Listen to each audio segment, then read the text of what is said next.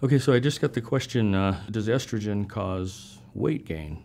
Um, this is from someone who had just started hormone replacement therapy and um, said she's, she's not fitting into her pants, her favorite jeans, the way she was before.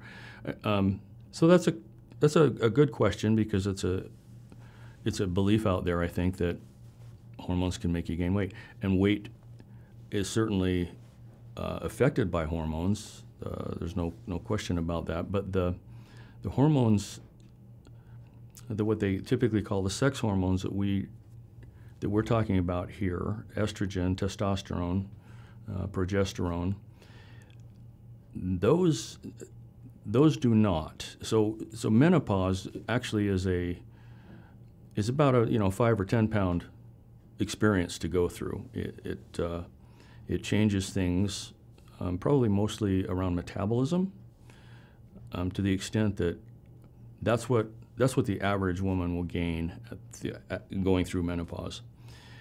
But when hormones are, are replaced and restored, they these women tend to actually lose some weight. Um, estrogen and uh, testosterone in particular, and it's because of its effect on visceral fat, the fat that is in and around the organs, which is important structurally, but um, we all just get too much as metabolism slows down and we keep eating the same amount. And especially when we eat a lot of uh, carbohydrates, in particular high fructose corn syrup, we just, we just call it, they call it overfeeding on, on sugars.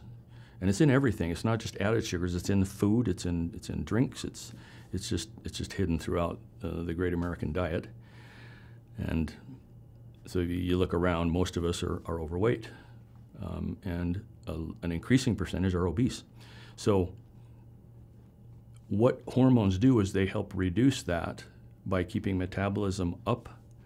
And we don't even understand all the ways that it does it, but it does reduce those things, so visceral fat in particular, which is the unhealthy fat.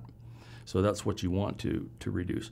But overall, there should be a a neutral or a reduction in weight when your hormones are optimized where they should be.